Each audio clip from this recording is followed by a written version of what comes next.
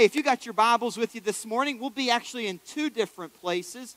Uh, but primarily, we will park out in uh, Hebrews chapter 12, verses 16 and 17. I just want to read Genesis 25, uh, verses 24 through 34, just to kind of give you some context uh, as to what is happening with today's sermon and why the writer of Hebrews says what he says uh, in his book of the Bible. Uh, so you have a paper Bible with you, that's where we will be. Uh, if you don't have a Bible with you, that is perfectly fine as well. Uh, all those words will appear on the screen behind me this morning that you may be able to follow right along. But before we read this morning, let's go to the Lord once more in prayer. God, we come today and we worship you. God, we thank you today that you created us for you.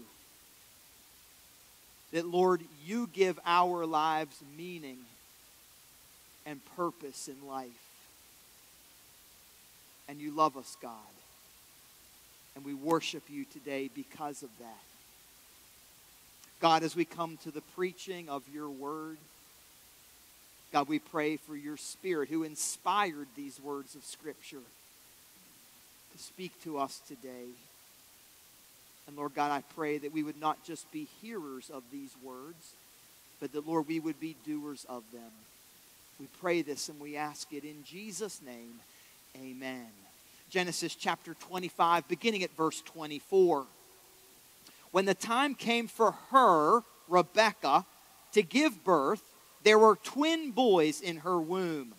The first to come out was red and his whole body was like a hairy garment. They would have put him in the circus if he was born today. So they named him Esau. After this, his brother came out with his hand grasping Esau's heel, so he was named Jacob. Isaac was 60 years old when Rebekah gave birth to them. The boys grew up, and Esau became a skillful hunter, a man of the open country while Jacob was a quiet man staying among the tents. Isaac, who had a taste for wild game, loved Esau, but Rebekah loved Jacob. Once, when Jacob was cooking some stew, Esau came in from the open country famished. He said to Jacob, Quick, let me have some of that red stew. I'm famished. That is why he was also called Edom.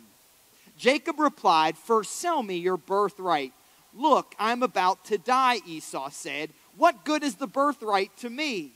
But Jacob said, Swear to me first. So he swore an oath to him, selling his birthright to Jacob. Then Jacob gave Esau some bread and some lentil stew.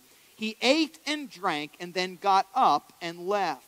So Esau despised his birthright.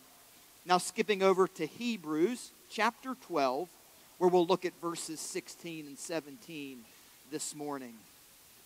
See that no one is sexually immoral or is godless like Esau, who, for a single meal, sold his inheritance rights as the oldest son. Afterward, as you know, when he wanted to inherit this blessing, he was rejected he could not bring about no change of mind, though he sought the blessing with tears. I want to start off by asking you all a question this morning. How many of you have ever heard of Charles Templeton? Anybody? Now, how many of you have heard of Billy Graham? Yeah, about all of us in this room this morning, right? So, Charles Templeton and Billy Graham were contemporary evangelists. Both of them had a radical conversion to Christ, and both of them were anointed to preach the gospel of Jesus Christ. And if you had been alive in the 1940s, and if you had known of the ministries of Charles Templeton and Billy Graham, and if you had been a betting person, you would have put your money on Charles Templeton to have the greatest ministry as compared to Billy Graham. So when Charles Templeton was a young man, He stumbled out of a Toronto strip club drunk, staggered home, and then this is what Charles Templeton says happened. Suddenly, it was as though a black blanket had been draped over me. A sense of guilt pervaded my entire mind and body. The only words that could come were, Lord, come down, Lord, come down. And then slowly the weight began to lift. A weight as heavy as I was. It passed through my thighs, my torso, my arms and shoulders, and it lifted off. A warmth began to fill my body. It seemed like a light had turned on in my chest and it cleansed me. I, my dad, when I was in my early 20s, and he told me, son, get an IRA, max it out, because now here I am in my 60s and all I have saved for retirement is $20,000. I wish I would have given more time to my family. I climbed the corporate ladder. I made it. But my wife left me and my children despise me. I can't tell you how many times I have sat in my office and have listened to the regrets of people. Everything from adultery to drug addictions, you name it. Your decisions have consequences, and they will follow you through your life, both good and bad. Regret is a part of what it means to be human. Every single one of us in this room are carrying regrets. I carry them, you carry them. Everything from things we wish we wouldn't have said, things we wish we wouldn't have done, the things we wish we would have said, the things we wish we should have done. Hey, there are even two times in the Bible when it says that God had regret. In Genesis chapter 6, the Bible says that God had regretted that he made man because they had become so wicked and evil. The other is 1 Samuel chapter 15, where God says that he had regretted making Saul king because King Saul had become such a self centered, egotistical king who would not listen to the voice of God. But when the Bible says that God regretted, it is not a sigh of anger, it is a sigh of love. When God regrets, He is looking at people and He is thinking, there is so much more for you than this. But living in sin and rebellion against me is not how it is going to happen. In the book of Hebrews, the, the author of this book, whoever it is, we don't know, but he is writing to Jewish Christians who are being persecuted for their faith. And it is most likely that these Jewish Christians are actually being persecuted by other Jewish people. They are most likely being persecuted by Jewish family, friends, neighbors, and acquaintances because they have forsaken the Old Testament covenant law and now they have placed their faith in Jesus. Some of them have been thrown into prison. Some of them have had their stuff looted and ransacked. They are being verbally abused. And the temptation for them is to give up on Jesus. That the suffering they are facing is not worth it. And what the writer of Hebrews is doing is he is telling them, no, don't give up on Jesus. Don't do something that you might look back one day and regret that you left your first love. Stick with Jesus Stay faithful to him. He is worth it. Now, I don't know how familiar you are with the Old Testament story about Jacob and Esau. But Jacob and Esau were twins who were born to Isaac and Rebekah. And Esau was the firstborn son. And to be the firstborn son in this society was an incredible privilege. It gave you honor, it gave you power, it gave you authority. When your father died, you were the one who divided up the estate. As the firstborn son, you carried on the blessings and promises of God from one generation to the next. But Esau gave it all away for a bowl of stew. Here is what the Bible should actually say God is the God of Abraham, Isaac, and Esau. That's what it should say, Tommy. But what does the Bible actually say? That God is the God of Abraham, Isaac, and Jacob. Why? Because Esau sold his birthright for a bowl of soup. So this morning I want to preach on regret. And here is the question I want to answer for you this morning How do you avoid regret in life? And I want us to look at three things from Hebrews chapter 16, verse, Hebrews chapter 12, verses 16 and 17. So, the first way you revo- avoid regret is to put God at the center of your life, not you. So, we look at the first part of verse 16. See that no one is sexually immoral. That seems like a really odd statement that the writer of Hebrews puts in there before he goes on and talks about Esau. Here's why the writer of Hebrews might be putting this statement in there. Because according to Jewish tradition, wild game wasn't the only thing that Esau was off hunting, if you know what I mean for our older audience. So then he goes on here in the second part of verse 16 or is godless like Esau.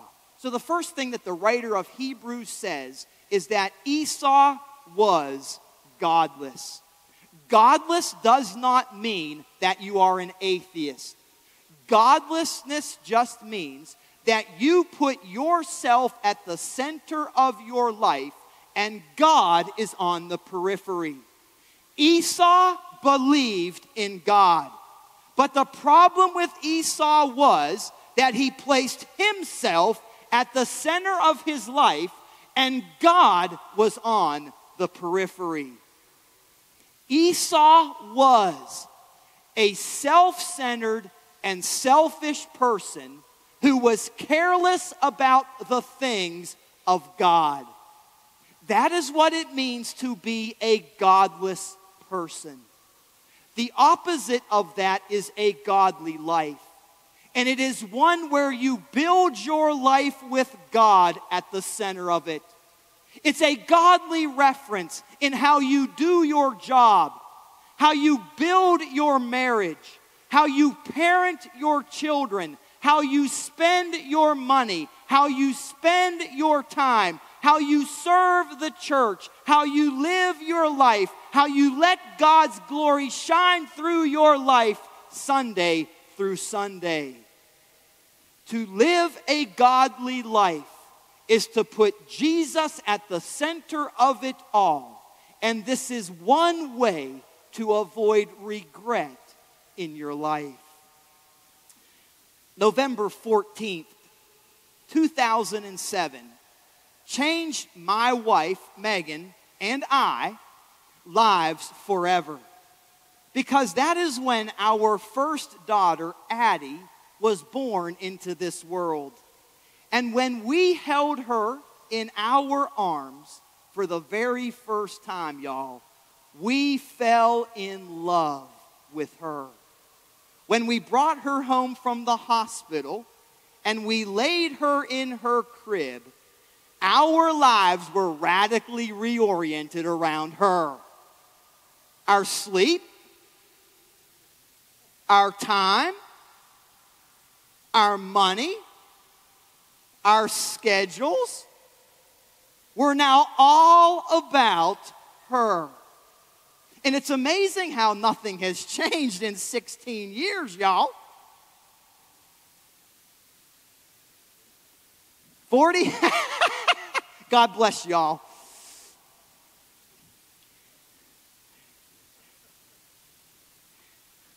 One way to avoid regret in your life is to fall in love with Jesus. It's to radically reorient your life around Him.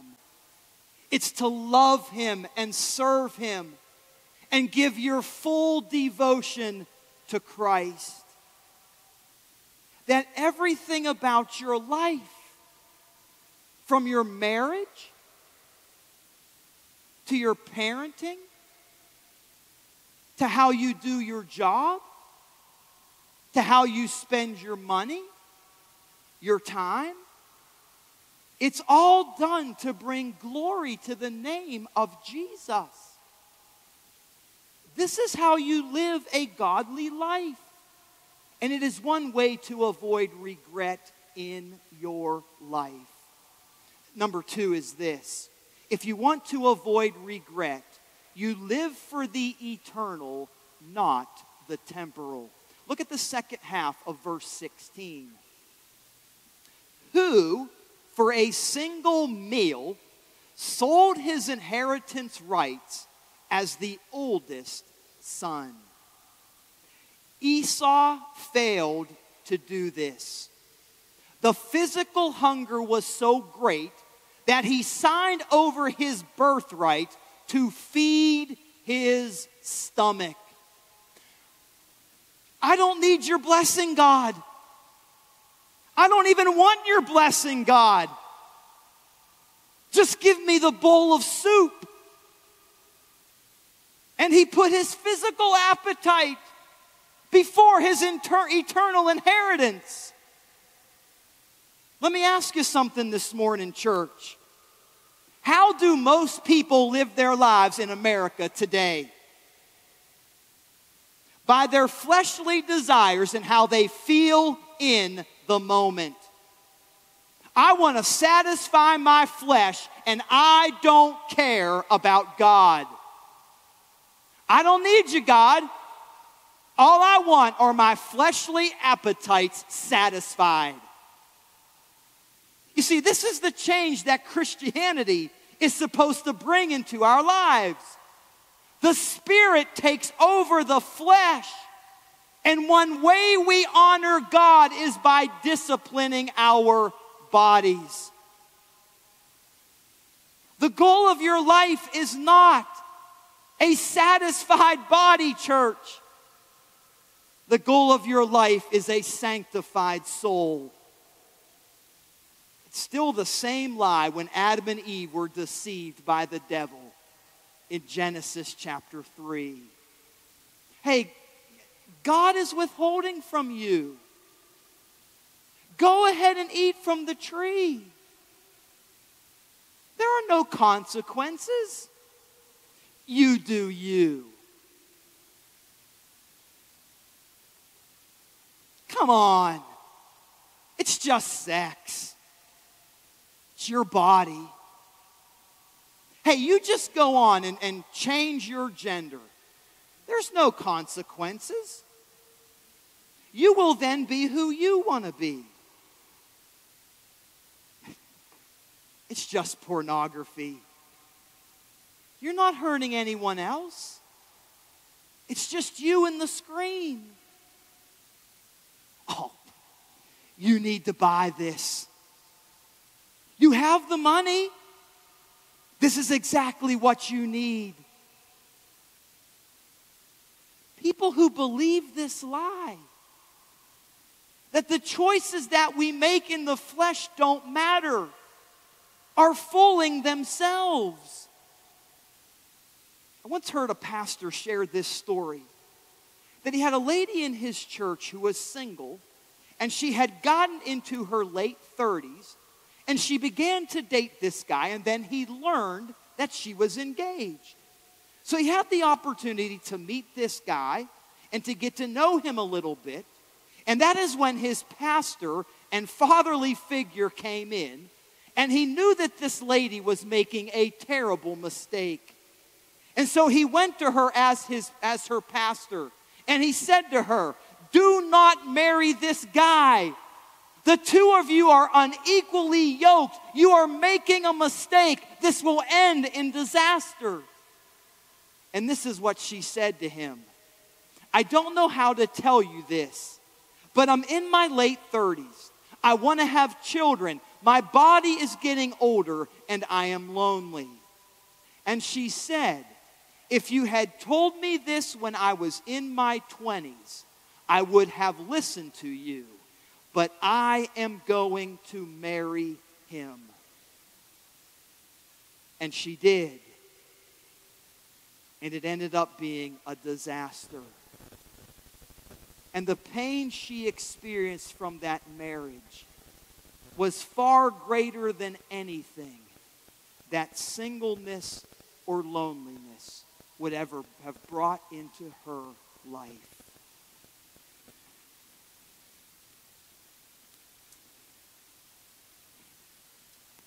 Satan's scheme is to rob you of righteousness and joy. He wants to rob you of your passion and vitality for Jesus. And listen to me, church. He does it bit by bit by giving to you modern pleasure. But oh, it feels so good. But all it is doing is making us spiritually broke.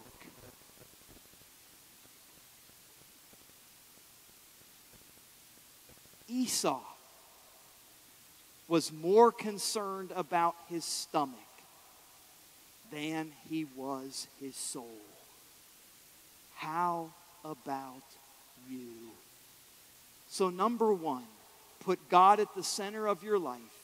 Number two, make eternal, not temporary decisions.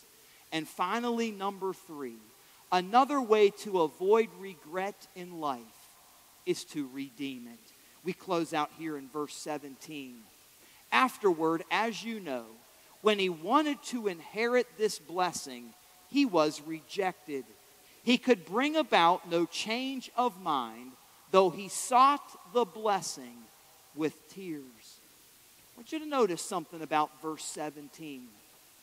Esau tried to make it right with God, but God wouldn't listen. Right in the middle of verse 17, you will see the word rejected. It means to cast something away after thorough examination. Esau came to God in tears, but God saw the motive of Esau's heart. It was remorse, but it was not repentance.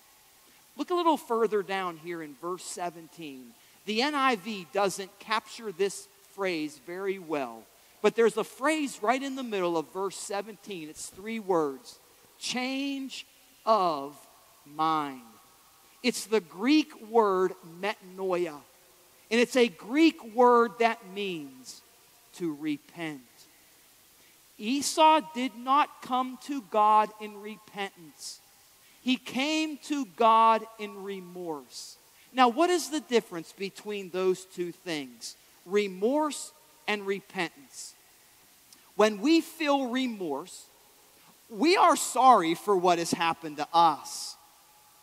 We are sorry because of what we have done to ourselves. Remorse is a self centered sorrow, it's all about us. The tears of remorse are a pity party for us.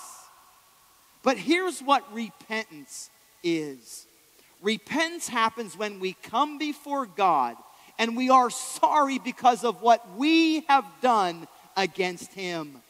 David said in Psalm 51 4, Against you, you only have I sinned and done what is evil in your sight. That's repentance. It's not God that Esau was seeking through tears. He was sad because of what he had lost to Jacob. Repentance is different because it's the heartfelt sorrow of what we have done against God. Repentance is heartfelt grief because our sin has broken our relationship with God. Listen to me, church. Repentance is available to all who seek it. You are not defined by your regrets. You are defined by the cross of Jesus Christ. God's mercies are new every morning, and His grace and His mercy is available to us and you don't find this grace, you don't find this mercy through remorse. You can only experience it through repentance. Very near the end of his life, Lee Strobel went and did an interview with Charles Templeton. And this was a question he asked him How do you feel now that you have no faith? And Charles Templeton said, I miss him. I miss Jesus. And tears filled his eyes. When Charles Templeton was on his deathbed, this is what he said Madeline, that was his wife, do you see them? Do you hear them? The angels, they're calling my name. I'm going home. Look at them, look at them. They're so beautiful and they're waiting for me. Oh, their eyes, their eyes are so beautiful. And then with a great voice, he cried out, I'm coming. After his death, this is what Charles Templeton's wife said. I believe he finally made peace in his own way with God and that he was going home to be with Jesus. When I get to heaven, he's the first person I'm going to look for. It is believed at the end of his life that Charles Templeton repented and got his life right with God before he died.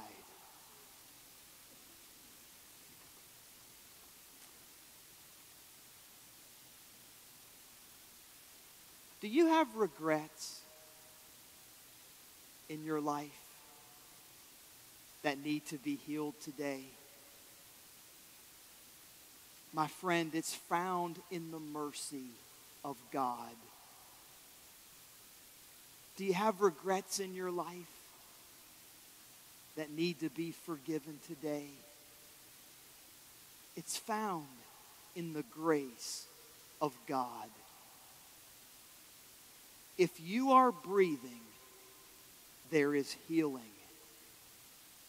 And the grace and mercy of God is the power that God has to redeem us of all our regrets.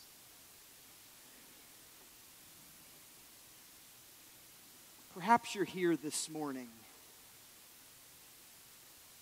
and you've never made that most important decision you will ever make in your life. And it's the decision of Jesus. Of repenting over our sin. Of believing that Jesus was God's Son. That He died upon the cross for our sins that he was resurrected back to new life on that third day. My friends, if you've never made that decision, don't live one more day of your life without Christ. If you are breathing, there is healing. Receive Jesus as your Savior and receive His free gift of eternal life.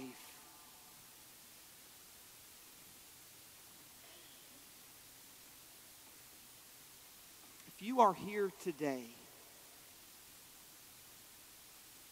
and you are struggling with regret, with sins and mistakes that you have made in your life, the grace and mercy of God is available for you today. Confess it, repent of it, and God will heal you.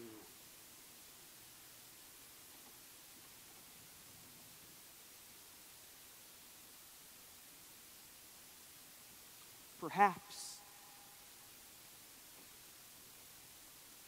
you're here today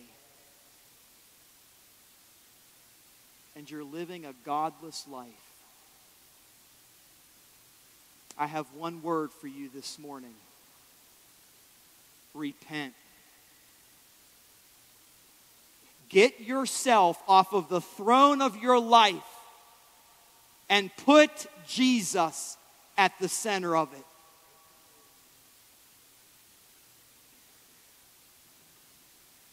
Charles Templeton died on June 7th, 2001. And when he stood before Jesus, I can only imagine the regret of a life wasted. Billy Graham died on February 21st, 2018. And when he entered the presence of Jesus, I can only imagine the joy and the delight when Jesus said to him, Well done, good and faithful servant. How do you avoid regret in life?